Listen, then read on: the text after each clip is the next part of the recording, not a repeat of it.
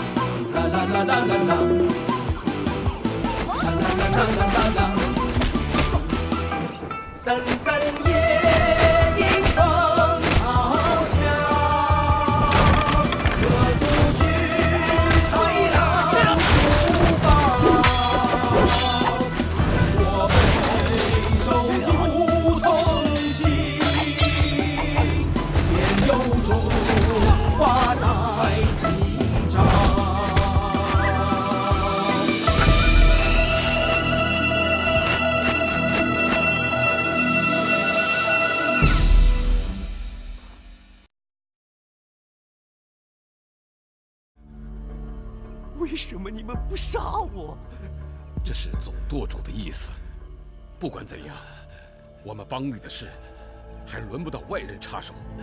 即便你出卖了天地会，我们也要等你回来，问个清楚再说。我现在终于明白，这个金南为为什么能当总舵主了。我我服。二当家，二当家，二当家，叶管事，这么晚叫大家来，可有什么事啊？哦，各位，最近啊，我们天地会遇上了点麻烦，想叫诸位暂时离开一段时间，以免受牵连啊。叶管事，您这是什么话？天地会的事，就是我们大家的事，到底发生了什么事？叶管事，是不是跟那个红色纸条有关系啊？那我就告诉大家，二当家的不在了。什么？不在了。什么？是啊，总舵主也被冯道德抓了去，关进了地牢。怎么会这样？我们现在就是想安排弟兄们去救总舵主。如果顺利的话，还请各位回来；如果不顺利的话，我们天地会就会遭到围剿。所以，哎呀，没有什么所以的啦。派你们这些人去啊，这个任务指定是要失败的。前辈，你这是什么意思？这个冯道德吧，以前是我的同门师弟，他的武功倒是一般，但是要比起你们几个人来，那是绰绰有余啊。我见过他们练功，不是我自夸，我十岁的时候练的都比他们强。当然了，这不是重点，重点呢是白眉。以他的武功，甭说以一敌十，就是以一敌百，那也是易如反掌的事。没错，二当家的临终前曾提过这个白眉。可是不管他是神也好，是鬼也罢，我们就是拼了性命，也要把总舵主救出来。哎呀，你们这些人呐，不知道你们脑子里装的是什么。明明知道打不过那两个老头子，还是要白白去送死。你们这么做啊，既不是视死如归，也不是大义凛然，给你们一个字啊，蠢呐！石玉，哎，这话糙理儿不糙啊！诗玉说的没错，明知是死，还偏要去送死，这不是蠢是什么啊？除非你有把握，你死了以后能解决问题，你有把握吗？嗯，那你呢？嗯，我知道你是我徒弟，哼，所以呢。要打就打有把握的仗，不能逞匹夫之勇。现在的问题的关键，不是让你们去救人，而是让你们去想清楚，怎么去救才能救得出，这才是问题的关键呐！你们说是不是啊？啊？老前辈说的有道理，可是现在怎么办呢？这个白眉要扣押总舵主，送往京城，我们必须动作要快。这个白眉现在还是这么迷信呢。什么都要挑日子也好，我回去看看黄历，确定了日期，咱们再选定合适的人选，怎么样？哼，还选什么选？我方世玉早就想会会白眉那个老妖怪了，我现在就去。去，我陪你一块去。好，三人行必有我胡慧乾，你们可不能撇下我。嗯嗯。西关，你不是说过不丢下我一个人的吗？你又骗我。啊，咏春，我不是这个意思，我。你这个大木头，脑筋就不会转弯啊！我的意思是说，我要和你一块儿去。这么热闹，怎么可以少了我啊？翠花，这都什么时候了，还跟着凑热闹？坐下。哎呀，好了好了好了好了，现在不要讨论这个问题了。现在关键的问题啊，是天都快亮了，我们啊得抓紧时间休息，不然明天怎么去对付白眉和冯道德啊？你们说是不是啊？啊？好，就依老前辈的意思，大家先请回去休息吧。好，走走走走走走走吧，走走走，呀走。敢问一句，那纸条可有什么意思吗？哦，那个事儿，那五里坡是个地名，这个不用解释了吧？凡是帮里兄弟写的纸条，都是有编码的。比如说，我就是零三八。哦，原来你是三八呀！哎，对了，那方大同上次捡到的牌子真的是你的喽？嗯，那这么说，二号就是你们二当家的牌子喽？也不是，那只是个巧合。像二当家这么高层的人物，他就不用编号了，在他的姓氏上面简化一下就可以了。比如说，二当家的姓袁，袁的一半不就是二吗？嗯，哎，继续啊。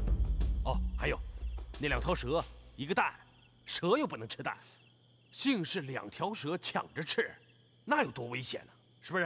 哎哎，那老鼠爱吃蛋呐，怎么不画老鼠呢？哎呀，画老鼠那多麻烦呐！真是的啊！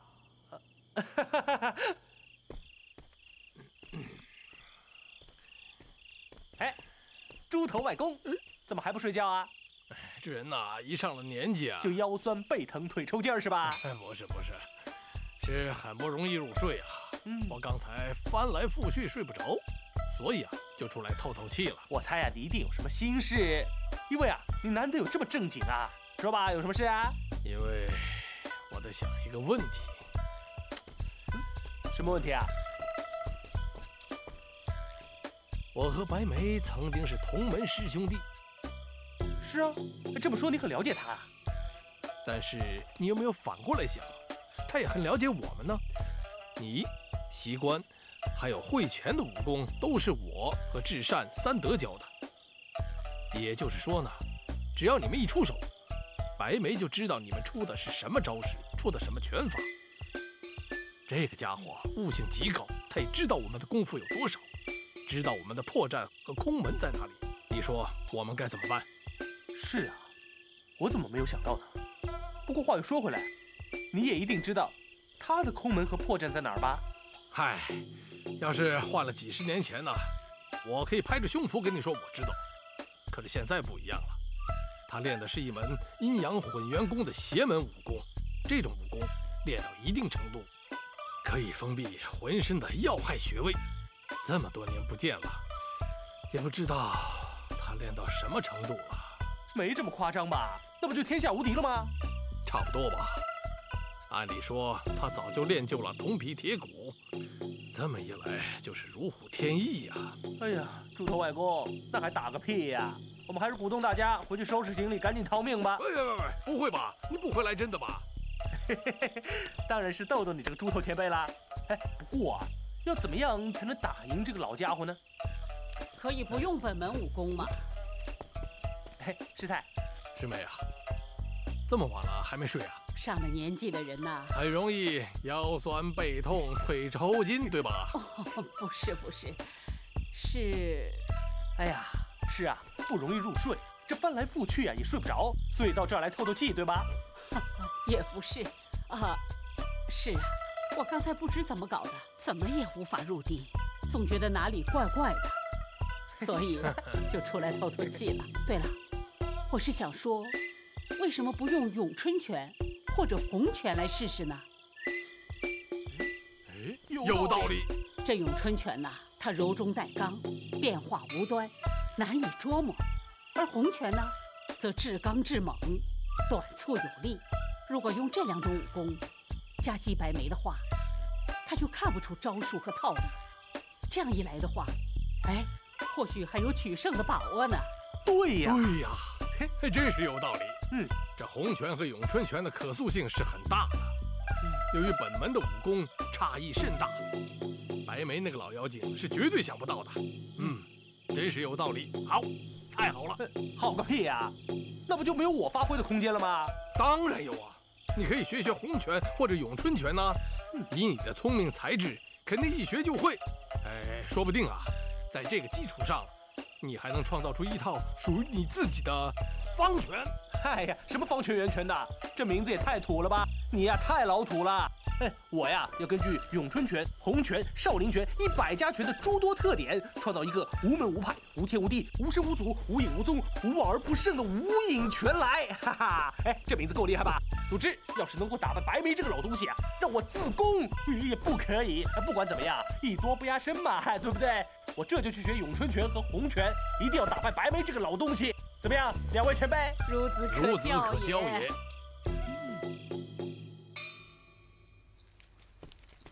师兄，你看谁来了？师傅，晋中啊，你怎么到这儿来了？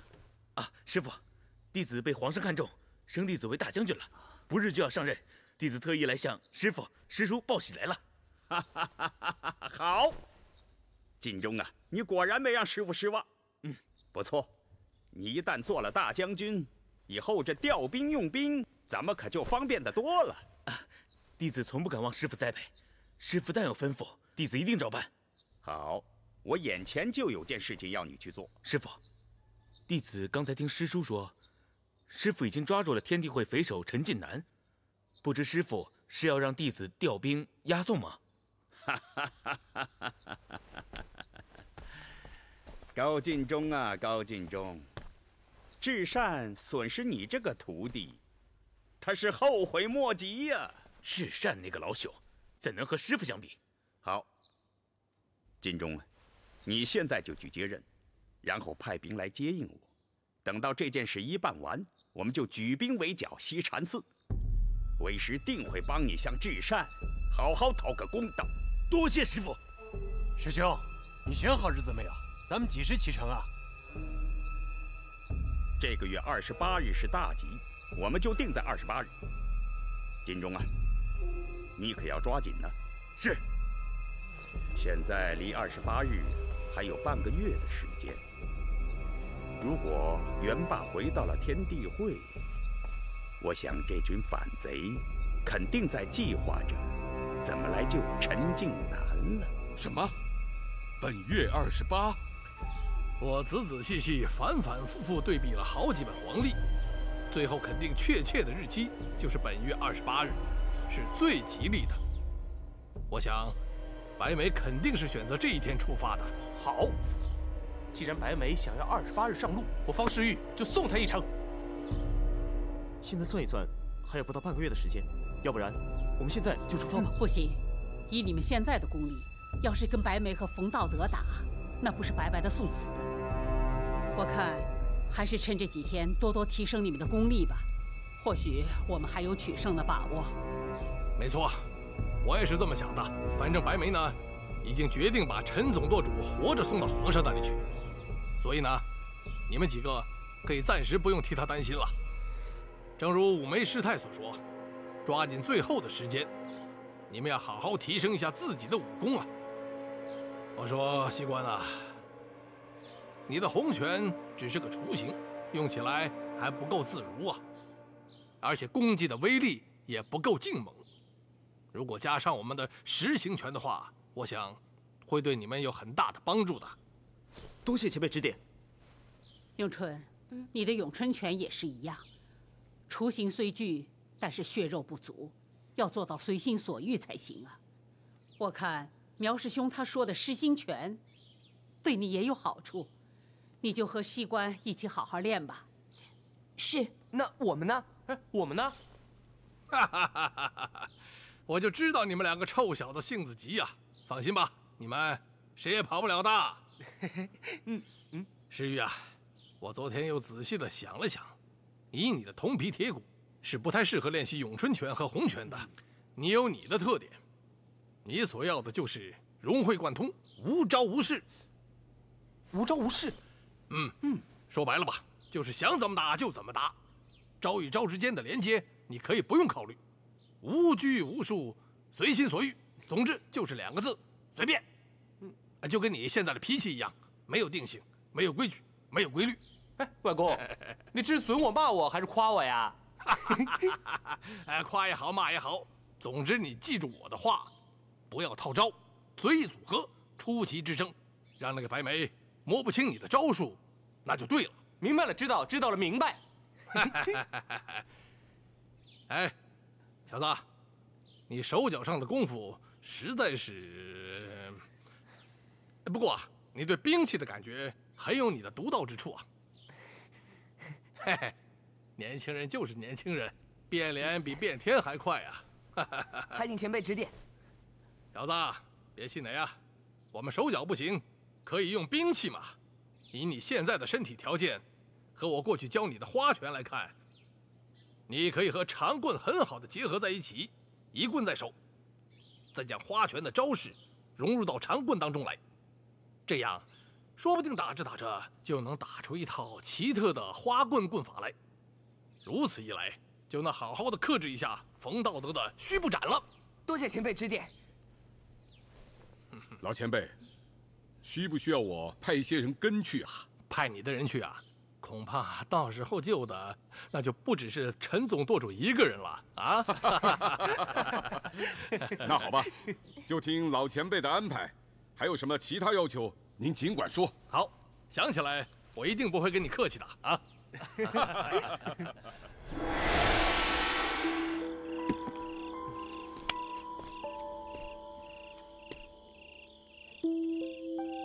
师傅，是不是我太笨，悟性太差？不是。刚才我看你那套实心拳的时候，总觉得不大对劲儿，但又似乎觉得这种打法很新鲜，与平日里的感觉完全不同。我知道了，是拳法的融合。西关他现在啊，脑子里一团浆糊，他打着打着就把自己的拳和实心拳联合在了一起，所以呢，对呀，就是这样。西关不知不觉的就把他自己的东西融合了进去。这老虎扑食动作快，扑上去就咬，而且老虎的牙也的确够尖的。所谓的虎拳，讲究的就是正则猛，反则韧，至刚至勇，和红拳正好的是相得益彰啊。西关他也就自然而然的分不清楚了。除此以外，在招式转换的时候，西关又不自觉的把鹤拳融了进去。因为红拳也好，虎拳也好，和西关一样，都是实打实的，直来直去，没有迂回的空间，也不让敌人钻空子。但鹤拳就大不一样了，这鹤拳是一流的功夫，迂回的空间大，是不是啊？这样一来，有了鹤拳的过渡，可以弥补红拳和虎拳招式上面的不足，也就能做到攻守兼备了。西关，真没想到你在无意间想出了这个虎鹤双全的拳法来，我对你呀、还真是刮目相看了呢。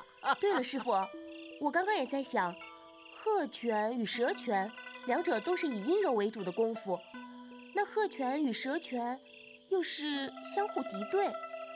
我每次想鹤与蛇争斗的场面，那鹤的姿势就像二字前仰马，但是蛇的反攻就像短桥寸进。如果可以在他们敌对中取得统一的话，那对咏春拳是有所改良的。哎，对呀，我怎么就没想到呢？你说的不错，这两种拳法和咏春拳的确是属于同一类的招式。如果真的可以在敌对中取得统一的话，再结合你的咏春拳，那可真的是相得益彰啊！好，那你们就抓紧时间练习，争取早日做到随心所欲的地步。再加上世玉的话，嘿，那个白眉老妖啊，他做梦也想不到能输在这几个小辈的手里啊！哈哈哈哈嗯，叶管事，我们已经准备的差不多了，明天早晨我们就动身了。嗯，不过呢，我想跟你要一个人，就是我的徒弟郝国安。我，我昨天想到一个调虎离山之计，到时候我们负责对付白眉和冯道德，剩下的那几个小兵就由你来对付。一救出总舵主，你就马上回来，剩下的事情呢，就由我们来办吧。是。好，就依老前辈的安排，我再派两个弟兄跟着你们，也好有个照应。好，我该说的都说了，你们还有什么要说的吗？哦，石玉西关会前，你们三个人要多加小心，见机行事，不要太鲁莽，知道了吗？知道了，明白，明白了，知道。嗯，老爷，您放心，有我和我爹，还有五梅师叔在，我保证世玉他们。一定能完完整整、平平安安的回来。嗯，永春呐，你可得答应我，一定要平安回来。不过呢，你有西关在，我也就放心了。爹，我知道了，你也要好好保重自己的身体。嗯，哎，西关啊，你可一定要对咏春好啊！你可是答应过我的。岳父，您放心吧，有西关保护咏春，咏春一定会没事的。嗯，要是咏春回来跟我说，说你不好。那我可要把女儿收回来的。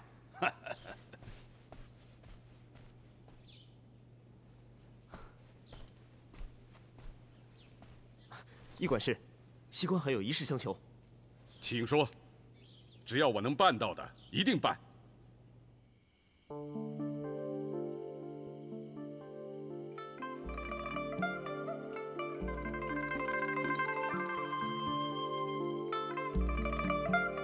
春，真是委屈你了。这个婚礼办得如此的简陋，我真的什么都给不了你。傻瓜，有你就好了。我不在乎婚礼是什么样，我只在乎，在以后的日子里，你会不会还像现在这样疼我、爱我？我洪熙官对天发誓，从今往后，无论是生老病死。我都不离不弃，永远不会让你一个人去承受任何的苦难。我一定会爱护你、呵护你、保护你一生一世。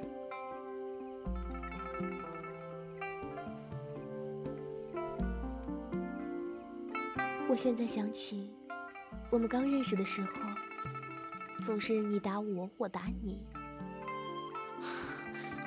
说起来，也真的好笑，老天真的是喜欢捉弄人。刚开始，我因为一把雨伞而讨厌你，后来又因为一把雨伞喜欢上你。但是现在，无论如何，不管怎样的你，我都喜欢了。是啊，刚开始的时候，你打我，我打你，打着打着，我们就去打别人了。再后来，再后来到今天，再打就要床头打了。你什么时候学的跟方世玉一样啊？说一些不正经的话。咏春，我不是这个意思，我的意思是说，我们床头打，床尾和。我们现在是夫妻了，所以不希望再闹一些不愉快的事情。我就喜欢你这个样子，你这个样子才可爱。我以为你又要生气了。怎么会呢？我懂你，我以后啊再也不会那么任性了，因为我爱你。我就会试着去了解你，去适应你，慢慢的，我就会变成另外一个人了，知道吗？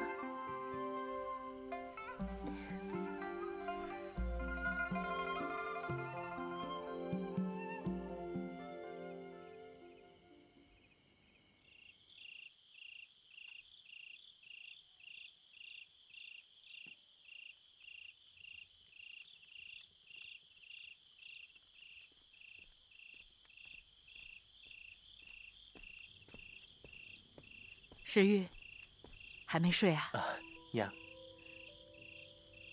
是不是看到人家触景生情了？啊，想不到啊，平时木头一样的洪熙官，也有浪漫的时候。是啊，可是我现在却不知道无双人在哪里，他过得好不好，吃的好不好，住的好不好，安不安全？想他就去找他呀。明天一办完事。你就动身去找他，一定能找到。不，我答应过方丈，要先回西禅寺。哦，这样啊，这样也好，回去继续练功，早日闯出十八铜人阵。找无双的事嘛，包在老娘身上。不，如果这种事情还要你来代劳的话，那也太没有诚意了。无双姑娘，我自己去找。我只是一时间有些纠结而已。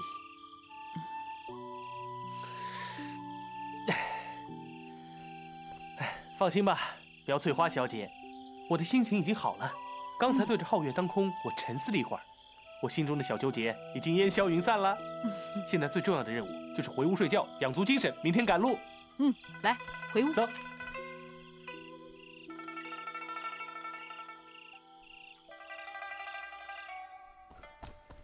师傅，师叔，外面来个闹事儿的，他说。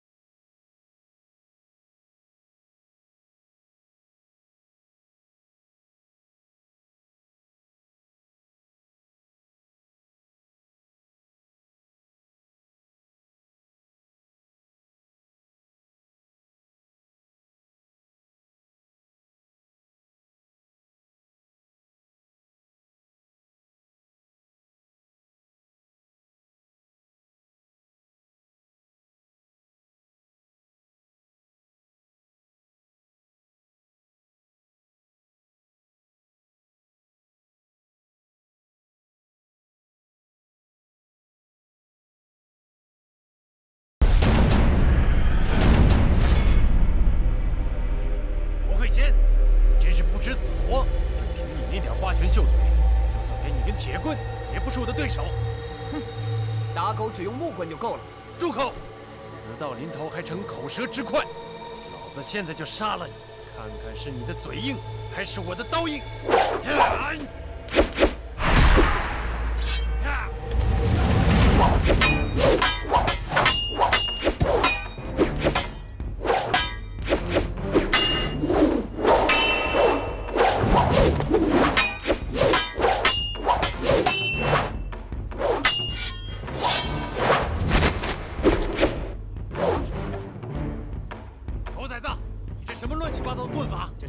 你这种恶狗的打狗棍法。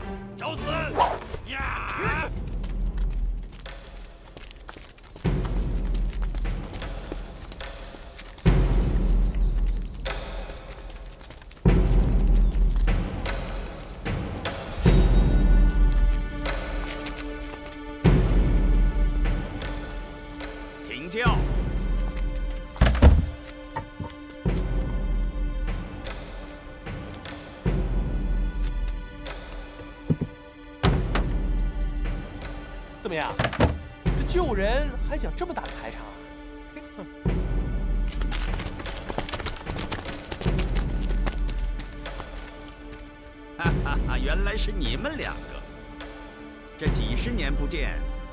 想到你们两个也学会了调虎离山的卑鄙手段。嗨嗨嗨！说到卑鄙，你可是开山鼻祖啊！偷学邪门武功被师傅发现，师傅心怀恻隐，不但没有杀你，甚至……连你的武功都没有废掉啊！你竟然恩将仇报，勾结朝廷的人陷害师傅，甚至连师傅俗家的家人都不放过。白面老妖，你到底还算不算人呢？自古以来，成王败寇，识时务者为俊杰。啊，要怪就怪那个老东西，跟你们一样的不开眼。看看你们，啊，蓬头垢面。衣衫褴褛呀！你们看看我，你们哪像我呀？看你个屁呀！你看看你这个老东西，脚底生疮，头顶流脓，脸上长鸡眼，身上还挂白毛。嘿嘿，你呀，吃得饱睡得着吗？你也不怕一批批的冤魂找你来索命吗？你是什么东西？胆敢这么无无礼的说话！我告诉你，今天就是你的忌日，这里将是你的坟地，我就是来取你老命的地狱使者方世玉。啊！是，少跟他废话。今天我们就替师祖师傅他们清理门户。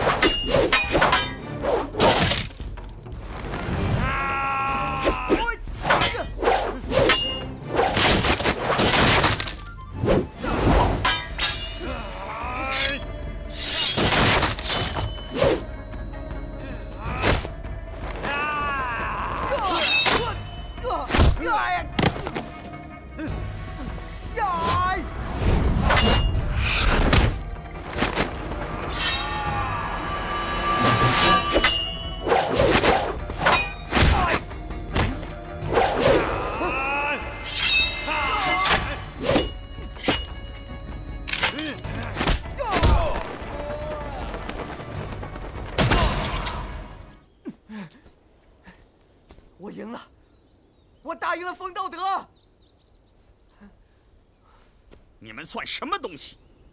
就算是至善，我都没把他放在眼里。至善，怎么教出来的都是你们这些不知死活的东西？不知死活的不是我们，是你这个老妖怪呀！你欺师灭祖，背叛师门，就是死一万次也死不足惜。混账东西！我现在就在这里，有本事你过来拿我的命！谁先生？和这种人还讲什么规矩？一起上！好。你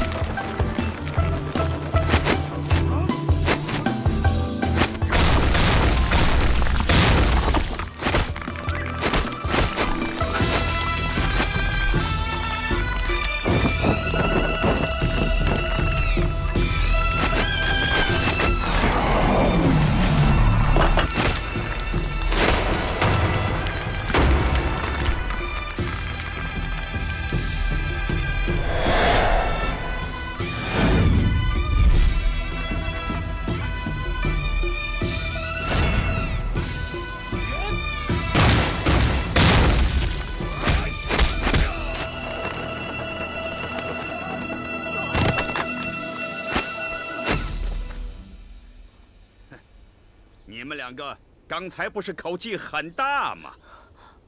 怎么样？你们是一个一个来，还是一起来？我们两个一起送你下地狱！废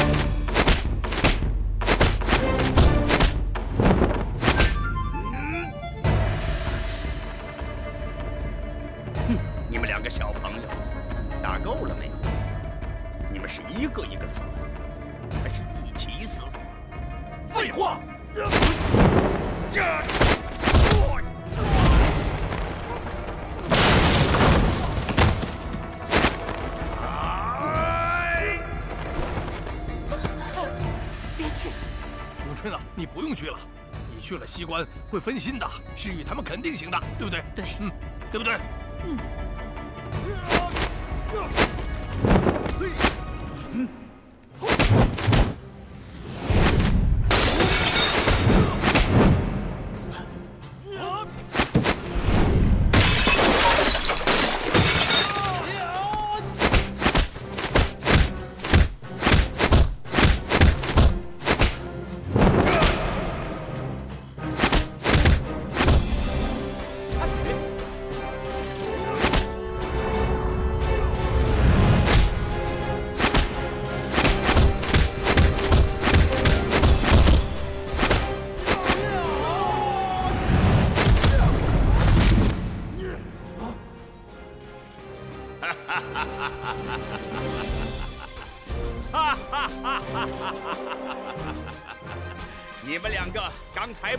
Xiao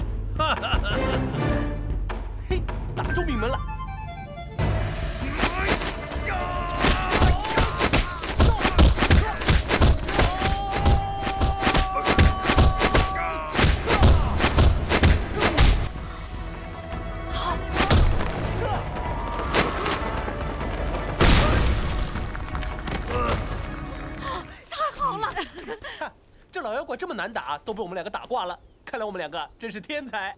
嘿，走，喝杯酒，好好庆祝庆祝。老娘，我们来了，走。西关，你没事吧？啊没事。臭小子，我准知道你行的。哎，你是怎么想起这几个无赖的招式的？哎，我再怎么无赖，不也是跟外公你学的吗？嘿，这臭小子！其实啊，这也是拜那个老妖怪所赐。我在刚刚起身的时候呢，突然感到手掌和小臂一阵酸麻。哎，你猜怎么着啊？原来是一颗小石子硌到了我手掌上的暗穴。哎，外公，你曾经跟我说过啊，人体除了很多明穴之外呢，还有很多暗穴。我一想，这老妖怪一定在打的时候啊，封闭了全身的明穴，而忽略掉了暗穴。但那么短的时间内，我怎么能够找到他的暗穴呢？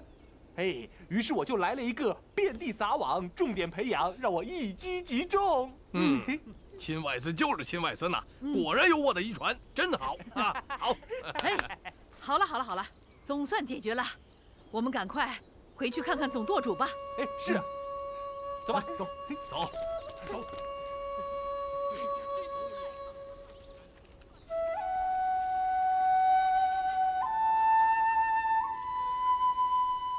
诗玉啊，总舵主他伤还未痊愈，不便外出，他让我和你说声谢谢。啊，这么客气啊？哎，他会不会后悔收留我爹娘了？哈哈哈，怎么会呢？没有没有。不好意思啊，这个臭小子没一句正经的。这段时间多谢你们照顾我们，我们的伤好的差不多了，也该走了。好，诗玉啊，不管到哪儿都要学会懂规矩，不要任性，凡事要多忍让，多担待别人。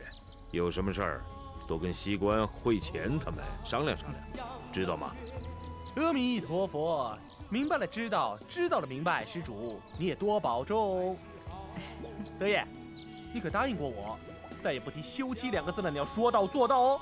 放心吧，只要德爷答应的，德爷一定会办到。这段时间我会多陪陪你爹的。那我会少喝酒，少疯，少玩儿。如果心情好的话，可能会生个妹妹出来给你玩哦，怎么样？哎，我听说高龄产妇很危险的。有什么办法呢？你不生，那只好我生了。哎呀，阿花，你放心，我这一次呢回到素人别院，一定苦练武功，尽早闯出十八铜人阵，然后找无双回来给你们生一大堆，有男有女，高不高兴啊？你要说到做到啊！当然了，我是方世玉嘛。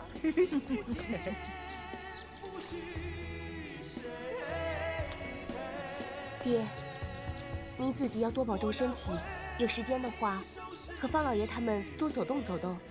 我一定会经常来看您的。好。等西关他闯出了十八铜人阵以后，我们就来找您。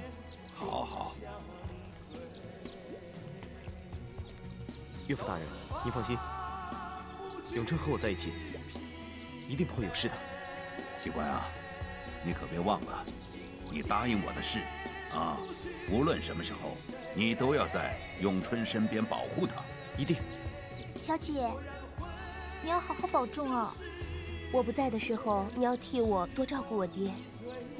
其实，我早就把你当我的妹妹看了。哎呀，好了好了好了，这天色也不早了，大家请回吧。啊，大同，少爷，这段时间我不在爹娘身边，你要替我好好的照顾。有什么事情，第一时间的通知我，听见没有？知道了，少爷。好了好了，各位走了啊，走了。好，再见了，多保重。再见了，小心看事业。走了。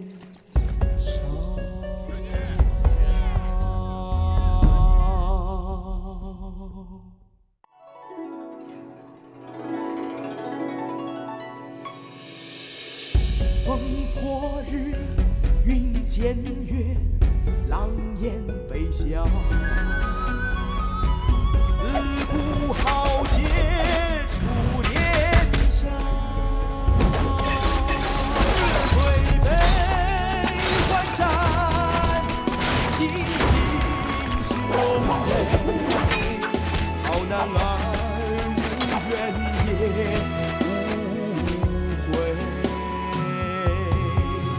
走四方无惧疲累，心无坚不许谁陪。蓦然回首，世间始终你最美。